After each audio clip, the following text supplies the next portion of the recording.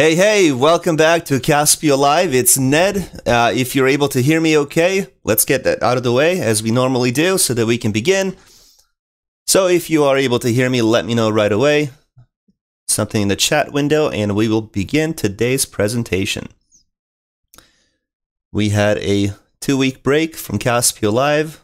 I hope you guys didn't miss the Caspio Live too much, but we are back.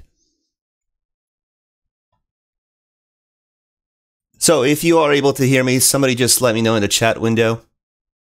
Yep, audible. Okay. Thank you for that. Hopefully everyone else can hear me as well. But yeah, welcome back. We have an exciting topic today. I always say that. Hopefully you guys find them exciting, but to me they are exciting. Uh, we're going to be building a an example in the automotive industry, which is more pertaining to insurance. So, where um, users can or customers can log in, uh, get their new car policy, uh, pay for it, and then in the end, they can download the policy and um, download a PDF where we take the data from the Caspio table and we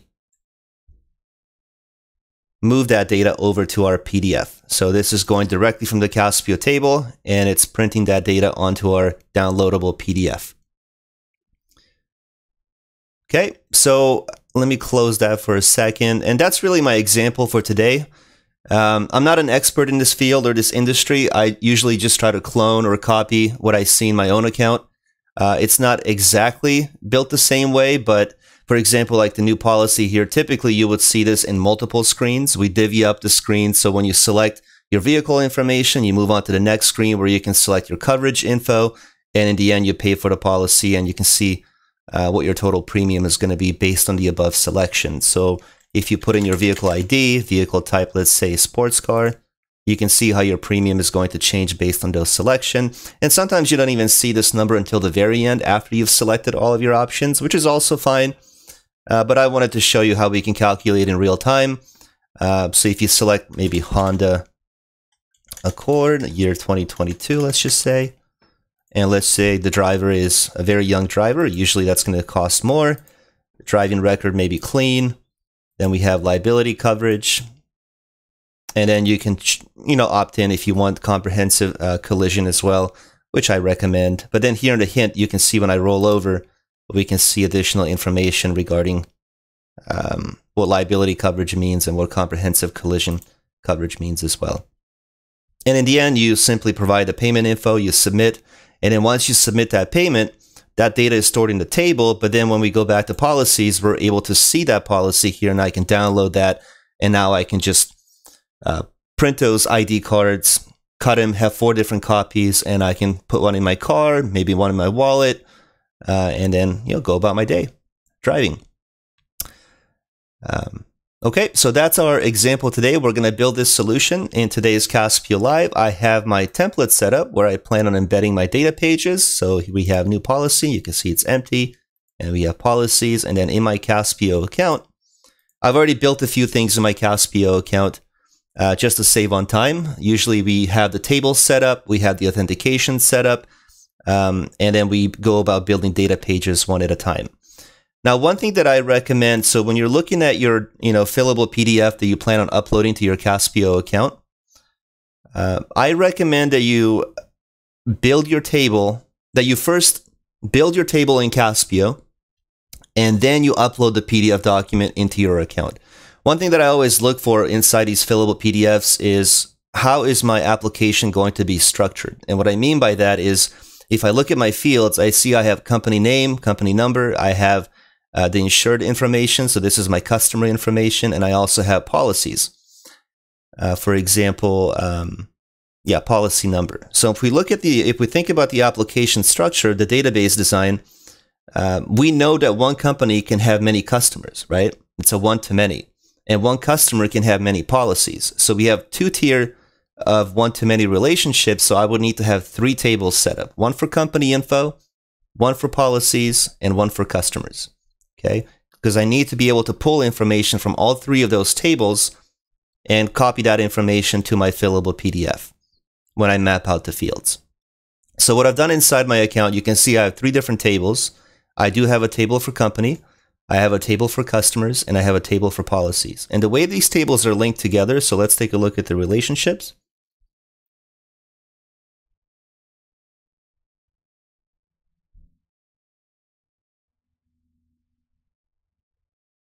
So you can see, let me just expand this, give me a second. And I'll go through each one of my tables in just a moment, but we can see that we have a companies table with the company name, and that's tied into our customer table. So we stamp the primary key as a foreign key inside the customer, which is our child table. And now this becomes our parent table, and this is our child table to the parent table. So we have a table of customers with its own unique ID, and then we stamp that customer ID into the policies table so that we can associate our policies back to our customer. Okay, so two tier, one to many relationship.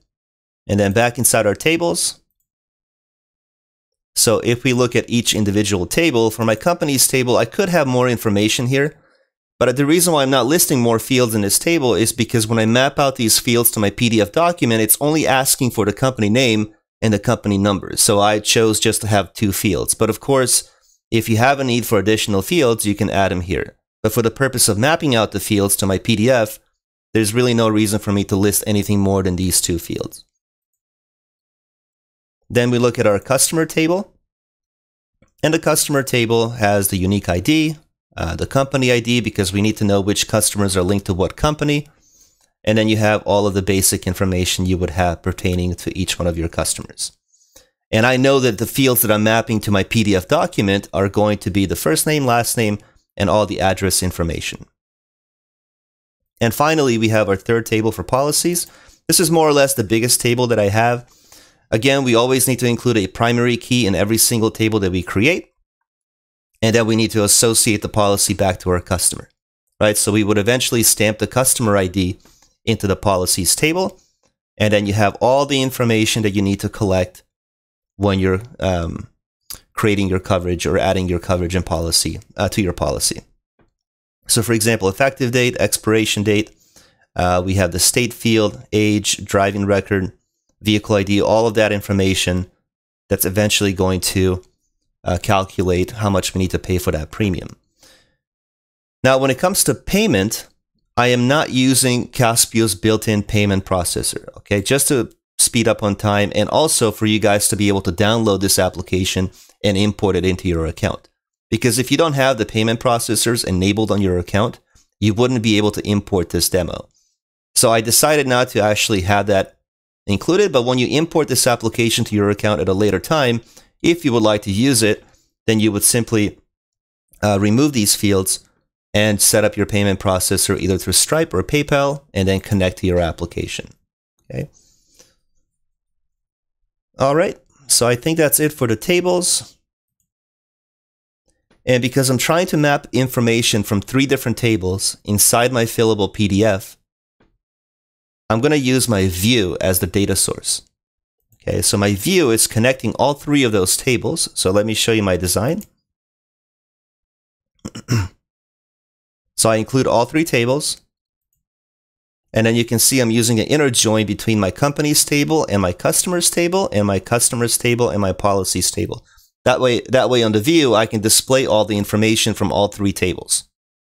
Okay, and then we're going to use the view as the data source, like I said, when we map out the fields to our fillable PDF. So then if I open the view, just so you can see, we have information from all three tables. I only have one uh, sample data record inside my table, so that's why you only see one row. But this is all the information from all three tables. Okay. And finally, we have the authentication that I've set up in advance. So my authentication is built on top of a directory. Okay, so I have my directory. I'll show you that in just a moment. But you can see I'm using the radio button directory, and then that's all I needed to do in the advanced settings, I always like to check this box so that when you load the data page on the website, it's showing you the full screen, the login screen before you log in to be able to see the data pages. Okay, simple setup. And now let's take a look at my directory.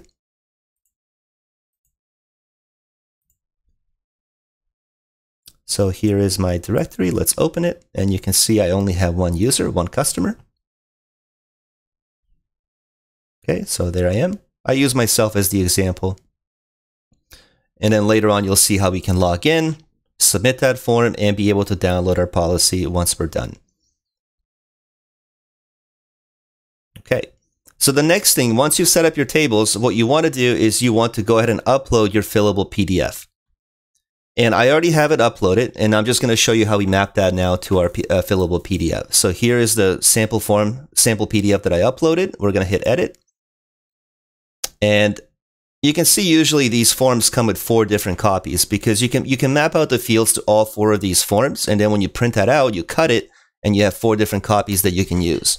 We're only going to map it out to uh, one of these you know but it would be the same process to map it out to all the other ones. So let's maybe uh, scale to fit. So it's a little bit bigger. I can also zoom in more if i wanted to. So my data source is going to be my view uh, it would help if I remembered what I called my view. Uh, was it something AI? Um, forgot what I called my view. So let's go back to our applications. I called my view AI comp cust. That's a long name, so we're gonna just copy that. Okay, let's go back to our document templates. Let's edit. Let's see if we can find it this way. So I'm just going to search for it. Here it is. Click apply. And now we can map out our fields. So for example, uh, the top one here is the state field. So if I click on that field, let's scale to width to fit. So if I click on that field, mapping type, data source field, and we're going to find our state field that we have. So there's the state field, and that that's that's all you need to do. Now you can just move on to the next field. So company number, let's go ahead and map that out as well, data source. Uh, and I'm using my company ID as the company number. Okay, that's the um, the primary key and also the GUID that's automatically generated. So we're going to use this as the company ID, uh, company name. And I realized later that I did not create these two fields in my table, but you can make those checkboxes in the table and then the user can select if they want the commercial or personal um, type. Policy number, we have also that field in our policy table. So we're going to find the policy number. There it is. Then we have effective date. Where is my effective date? All right. And then we have our expiration date. And just bear with me for a moment while I map out my fields very quickly. Expiration date. Moving on to the year, make, and model. So we have the year of the vehicle. Uh, where is it? Where is it? There we go. Uh, make and model. So let's do that next. So we're going to put the make in this field and model in that field. So let's do make, vehicle make, vehicle model. Let me take a look at my question. Those map fields look so neat. What app did you use to create that fillable? I actually found this online. I did not create this myself. But there are tools that allow you to create fillable PDFs. This is just something I downloaded randomly off the internet. Okay. Uh, vehicle ID numbers. So we have that, of course. That's inside our policy table, I believe. Uh, vehicle ID number, vehicle ID number. There we go. Um, let's go agency company. So this will probably be the agency company name once again. So we're going to include that too. Company. Where is my company name? Here we go. And I guess, see here, I could have included the uh, company address fields too, and I didn't do that. So that's one thing that you could have done here as well. So you'd have the address to the company, maybe city, state, and zip uh, to be ma mapped out to these fields underneath the company name. So that's one thing on the um, the ID card that I did not create. And then finally, we have the uh, person that's insured. So we have the first name, or we have the full name. So we can also use the full name of the uh, the customer. So let's go ahead and do that. And then we have the address. So let's do address. All right, and almost done here. We got state zip, city, state, and zip, I mean. So we have the cu customer city, state, and we'll be done. And also, you can hit next field here as well. You don't have to, my, my, preference is to just click on the field that I'm trying to map, or if you hit next, you see how it goes to that field immediately. And then we can map this out to our zip code. Customer zip. And now we're officially done. Uh, you would repeat the same steps for the additional four, uh, three cards that we have here so the user can download all of them, cut them out, and use them however they want. That's the uh, typical uh, process. And then we hit save. All right, now that we've mapped out our fields, let's go ahead and build our data pages. So we'll go into our applications.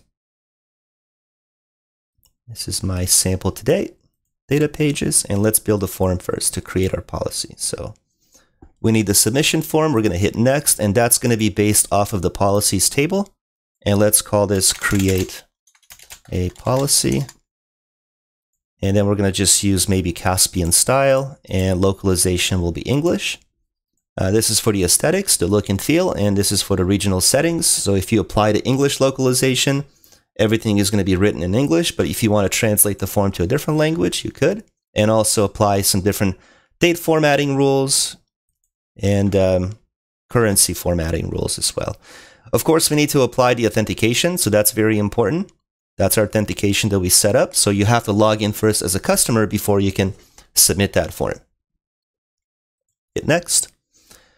And now, what fields do we need on the form? So we're going to need a lot of these fields. Okay, so let's go ahead and um, uh, let's have the customer ID, effective date, state, driving record, vehicle ID, limited, car number, expiration. So it looks like we're going to need all of these fields on our form and hit next.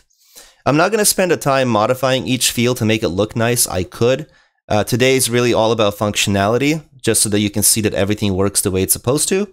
Um, but I leave up to you to modify your own uh, look and feel because everyone has their own unique style that they like.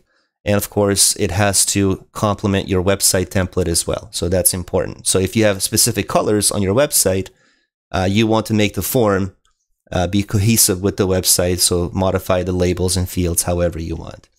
Now, the customer ID, we don't want this to be visible on the form. So we want to make this field hidden and use the authentication method to stamp the user's ID. Okay, so when I log in as, let's say, customer Bob or customer Mary, we already have their unique ID in the customer table. Uh, we just simply automatically stamp that ID into the policies table because we already have that information. So we make the field hidden and use the authentication field user ID to stamp inside the policies table. Effective date, this can be a timestamp. Okay, so this is when the policy will begin or when the policy will start. Now, expiration date, I should have done a little bit differently. Now I realize that um, during our live stream that this is not the way this is supposed to work. We can use a formula field later on to calculate, um, to add additional, like it, let's say you're uh, adding a policy for six months or a year, 12 months, you know, it, it will calculate differently based on that information. So I made a mistake here, actually. Expiration date I cannot use in this example because the customer doesn't set the expiration date. They just have a field that they can choose if they want to pay monthly, uh, quarterly, semi-annually, or annually, right? So this is my mistake. Um, something I should have fixed prior to our call today. So we're going to exclude this field today. Okay, let's remove it. Uh, let's see for the state field. Now we already have the state field of the customer, so that's in the customer table. So again, we can hide this field and use the authentication field state to automatically stamp that into the policy. For age, this is going to be a dropdown. And I'm not going to include every single option that I had in my live example because you can see that would take forever. So if I, for age, if I list all of these, that might take a while, you know, so we're going to include maybe one or two. So for age, you can have a dropdown and for display, we can say maybe 16 to 20 years old. And you will end up paying maybe I don't know, if you're a young person, you end up paying a $400 premium, okay, for that age group. Now, this field you can see my data type is set to number. Display doesn't matter what you can you, what you do. You can have a hyphen here, 16 to 20, but the value has to be a number because that's the need, that needs to be stored in the table as the actual number. Okay, And let's have one more. Um, 21 to maybe 28. That's going to be less because you're a little bit older. Hopefully, you don't make as many mistakes. we all know when we were younger, we were uh, very uh, energetic and wanting to uh, speed all the time. At least I was. But hey, I'm much more calm these days when it comes to driving. I don't drive as spirited as I used to. All right, driving record. Okay, let me just add a little space here. So this is also going to be a drop down. And let me just see what I did in my live example. So clean speeding accident DUI. All right. So we have clean record. Uh, maybe we pay nothing for that. Let's have speeding. That'll be additional $100 and maybe DUI, uh, additional $400 if you've had that. Uh, vehicle ID is going to be required. In fact, all of these are going to be required fields. Um, one thing that I would add here is usually at the very beginning of your dropdown, you want to say select. And if you choose that, let's just have it as a zero, but it's a required field. Um, driving record, same thing. This can, this can actually be by default set to clean. That's fine. So the user has to change it. Uh, let's see, vehicle ID is going to be a required field, vehicle type. So vehicle type, we have a drop down here as well. So if it's a sports car, maybe you end up paying an additional $200 for that. If it's a sedan, not as fast of a car, maybe $50. And if it's, I don't know, maybe an SUV, $100 or something like that. All right, vehicle make. So that's going to be a required field. All of these, again, are required fields. Vehicle make, um, Honda, Kia, whatever car uh, manufacturer you want to go with. Uh, vehicle model, also required field. Vehicle year, required field. Uh, liability coverage, what am I doing for liability coverage? So let's see, we have state minimum, 50, 100. Okay, so let's come back here. So that's a drop down. And we're going to say state minimum, that's going to be maybe, I don't know, 200 extra. And these are all fictitious number, arbitrary numbers. I am not using any real actual data. I'm just making things up. So let's just do 50, 150. And then maybe uh, we have a deductible here. Let's just do 500, I think. And then we might have 100. Oops. 300 policy. So this is about miles, right? 50,000 miles, 100,000 miles, uh, 300,000 miles, and I don't know, 1,000. And then you can add a comprehensive collision as well if you want to. Maybe that's not a required field because sometimes when you're creating your policy, you don't have to add comprehensive, comprehensive collision, even though I, I personally recommend that you do. Uh, unless it's a really old car and you don't really care about it. But um, And then total premium, I actually used a virtual field for that. Now I realized that you can also create a formula field. So if you want that total to be saved in the table, create a formula field inside a table and then build it um, as a calculated field here on the data page so you can still see the total in real time. But when you submit the form, you get that total to be stored in the table as well. For me, I'm just doing a uh, here on the fly as a virtual field just to show the user uh, that calculation. But you can definitely have that calculation be stored in the table as well. So that's going to be a calculated value. And my formula, maybe I should just copy my formula from the other one that I have so that we don't, but it's a simple one. We're just adding things. So why don't we just do is null. So let's find is null. Okay. So, oops. Let me add an additional parenthesis here. So we're going to insert our all the ones that are giving us the calculations, right? So age plus driving record, that also has a value tied to it, plus uh, driving record we used, vehicle ID, vehicle type, vehicle type, yep, because it could be a sports car or an SUV. Let's have another plus for liability, I believe. Yeah, liability coverage. And then if you had the comprehensive, you would add that as well. I, I did not modify my dropdown, but you would uh, modify that dropdown as well if you had something. Um, but let's let's do that for now. And then we're going to just simply say comma zero because if it's empty, I want to replace that with a zero and I want to format this as a currency so that I can include a dollar symbol in front of my, uh, my number just to make it look nicer. And then we're going to just say zero digits after the decimal.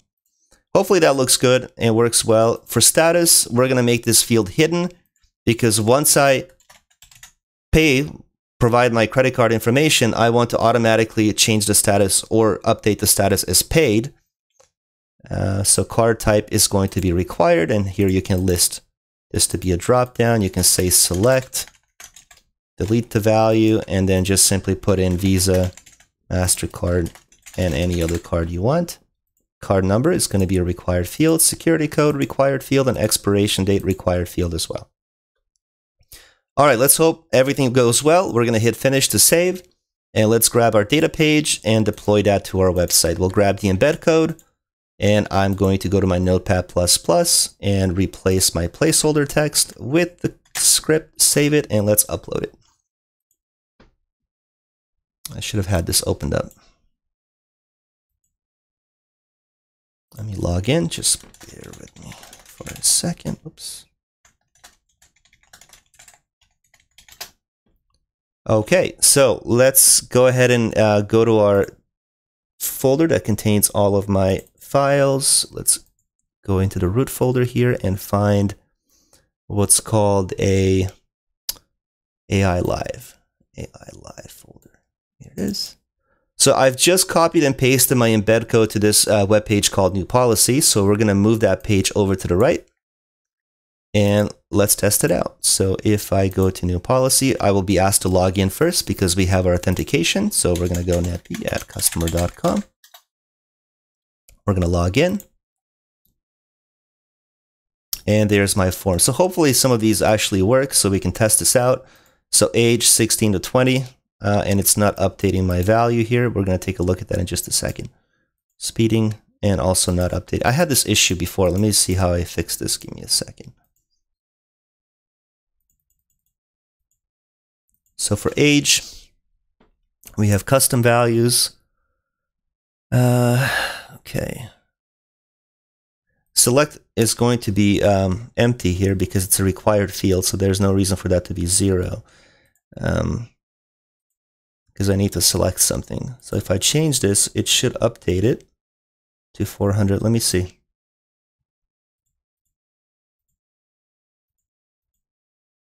Oh, can't remember what I did to fix that. Give me a second. Let me go into my other application real quick. Um, let's see auto insurance. I had the same issue before, but I don't want to waste time trying to figure it out. So let me see. Age. Age. I did have a zero there. Made that field required and then in my virtual field age plus so it should show up Age. Okay, interesting. Uh, let's come back. Data pages. Age. Required field zero. But if I change it, it should update my formula as well. But for some reason, it's not updating my formula. So age plus driving plus vehicle plus limb plus plus that. Is it because of my... Oh, because of my collision coverage, I need to modify this as well. They all need to have a zero in order for the formula to work. So let me just add something here really quickly for my uh, comprehensive collision. So I remember now. So let me just see what I did here. Oh, the deductible comes over here. Okay. That's my mistake. So we have 500 deductible and 1000 deductible. So we will say a drop down Let's do um, 500 deductible. And then we'll just say, I'll just put 500 as the value. And then we'll do um, $1,000 deductible. 1000 and I'm pretty sure I'm going to add a select here as well and put that as a zero because they all need to carry a value. Let me just make sure they all do. So this one has a state min let me just include everything to have a select to start off with the zero here so that we have just a clean slate. Okay, so vehicle, model, type, select, zero. Let's move that to the top. Vehicle ID. Okay, that looks good. Age looks good. Let me try this now. It should work. So let's come over here, refresh. All right, so I need to include a, um, I need to have this be set to default. So it goes down to zero. Give me a second. Yeah, so it goes down to zero. So if I select age, it's going to add to 500, I believe. I, I don't know what I had here. I believe it was 500. I also don't know why we're having so much lag now. This normally doesn't happen, but sometimes it does.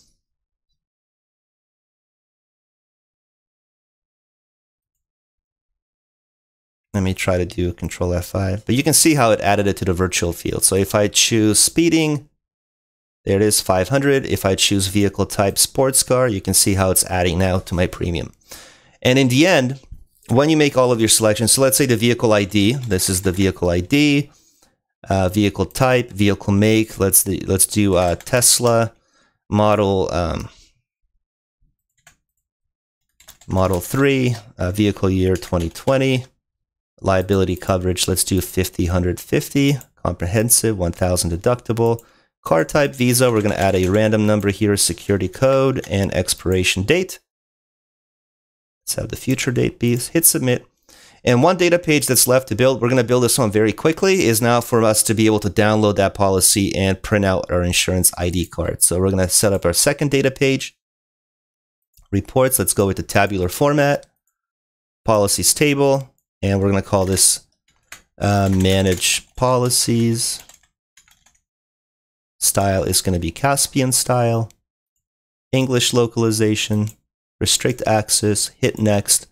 No need for a search form uh, because, you know, I don't suppose we're going to have too many policies over, I don't know how many years you go with that insurance company.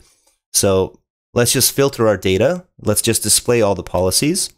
You definitely want to enable RLS because you need to be able to see your own policies. You don't want to be able to see some other customer's policy. So set up your RLS, hit next. And do we want to filter our records by any field? I don't think we need to do that. Let me just think for a second. Why don't we filter based on the status field so it equals to paid? Just in case in the future, if you have a policy that you started but you didn't pay for yet, you can have it be in progress, and then later on you can edit that policy and pay for it. So, but we want to be able to filter out just the paid ones uh, at the very top. Hit next, and now let's see what information we want to display. Policy number is good to have. Uh, effective date, and normally you would have the expiration date uh, expiration date there as well. Unfortunately, I did not set that up. Uh, let's see what else we have. We want the vehicle make, model, and year. And I don't think I need to display any more information, maybe vehicle ID, but I think that's good enough for now. We're going to hit next. Next. And now in the results page, let's include generate PDF.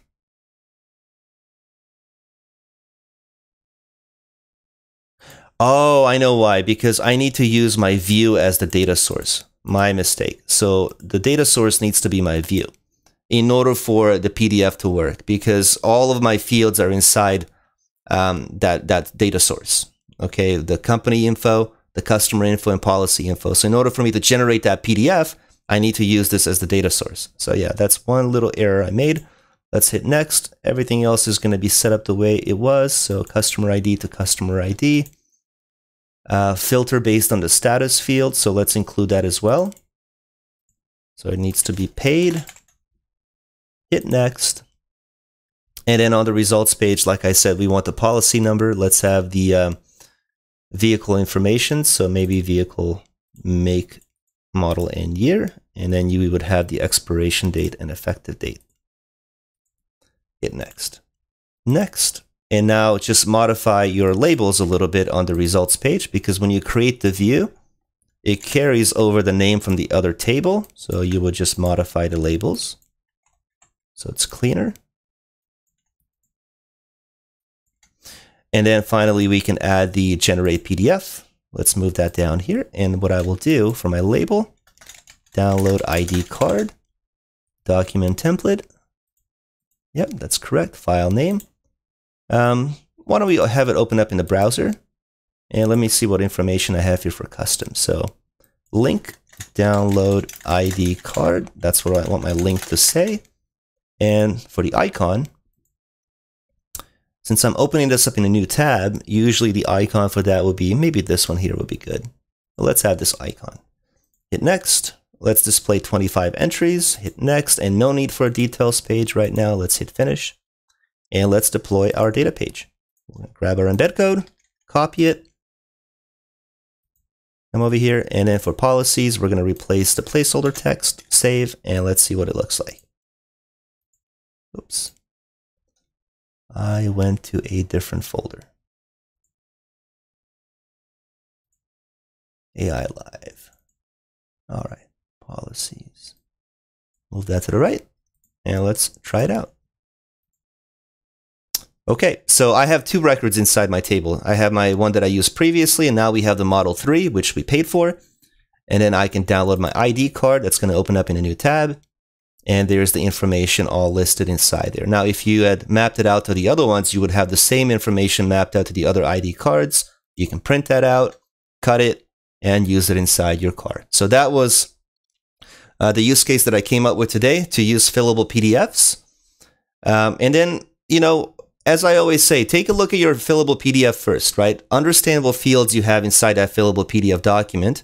And based on the fields you have, you may have to set up some relationships because you could be possibly you could be mapping out fields from multiple tables. So build the tables first with all the fields that you need, the required fields, and then upload your fillable PDF and then start mapping out the fields to your fillable PDF. And sometimes you may have to use a view and other times you may have to use related tables inside that PDF setup um, to bring data in from multiple tables. So you have options either to use the view or related tables when configuring your fillable PDF. But that's the use case we had today. Hey, Steven, been having lag in Caspio all day. I'll take a look at your, yeah, let me relay that information over to our team to find out. Um, can you send me an email directly as well? I just want to make sure everything's okay. I don't think that we're having any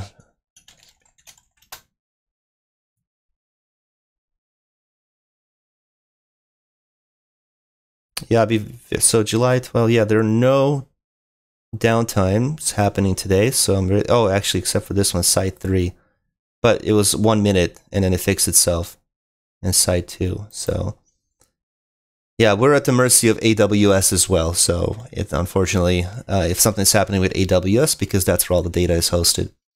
Um, but yeah, send me an email, Steven, if you don't mind. I'll take a look and I'll email you back and find out if there's anything happening that I'm not aware of.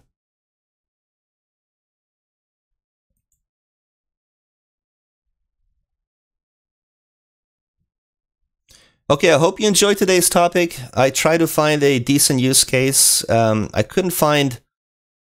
I mean, I, I, guess I could have researched to see how else we can use fillable PDFs, but this is the one that came to mind because it's fresh in my mind because I had to um, pay for my uh, insurance recently. So I figured maybe I can try something like this. It's a real life use case. So um, it may not relate to what you're looking to build. It probably won't relate because everyone has a different use case and different uh, application they're de- they're developing. But same thing, even with like tax documents, you know, W nine forms, W two forms. You can map those out, and those forms you can actually download uh, from the government's website. They're available. They're free to download, and then you can upload them to your account and start mapping out the fields. And if you need something more custom, then you can use one of those um, generators that allow you to build these fillable PDFs. I've never created one myself, but I have seen tools out there that allow you to do that.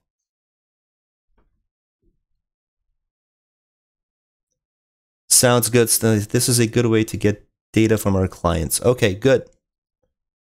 Good, good, good. Or for them to download and archive um, information onto this onto the PDFs. So All right. I hope you enjoyed it. Next week, we're going to be building an expense tracking application for companies. So, um, if organizations have a need for something like that, that's what we're building from from start to finish. So we're going to have an HR team approving these expenses. We're going to have employees, management. You know, if you're traveling, if you need to get reimbursed for something, you can, you know, create an expense, and then it goes all the way to the HR uh, to finalize and approve that expense, and then you get reimbursed for it um, at the end of the month or at the end of the week, whenever uh, your paycheck is due. So that's what we're building next week. We're going to tackle that whole entire application, uh, build all the data pages. I don't know how many we're going to have. I haven't built out the app yet. I built a similar expense tracking application for um, on the consumer side where public can sign up and track their own expenses, but this is going to be more focused for organizations where you have departments, you have teams, and then you can roll that up in a department and see all the expenses for the sales team, marketing teams, and some dashboards and analytics. And yes, we will have many more data pages in that application compared to what we built today. But today's live stream was mainly about fillable PDFs and how you can upload them to Caspio and then start mapping out the fields to the database tables. And via the data page, you can download these PDFs uh, from a customer perspective or some other way uh, that you make it accessible to your end user. All right, so I won't hold you up anymore. Thank you for attending. I appreciate your attendance, and we'll see you next Wednesday. All right, take care and have a good rest of the week.